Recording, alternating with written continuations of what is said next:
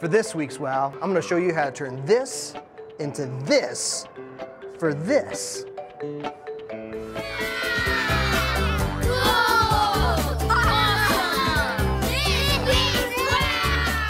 Hey Matt, you can help me out. I promised my fans I'd show them how to turn this into this. How would you do that? We do it with a 3D printer. 3D printer, Yep. how does that work?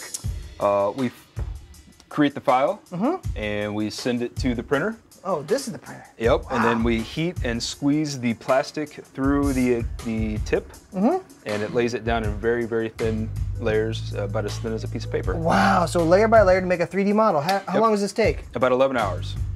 I got the time.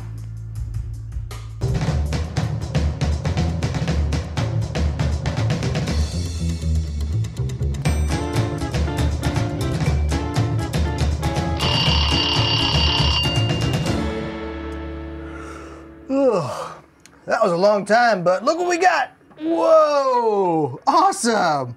Now, Matt, why do we have a 3D printer here at the Children's Museum?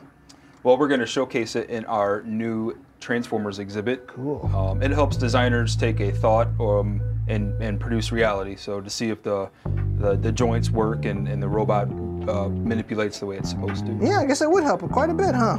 Uh, what else can we make? Let's design something else.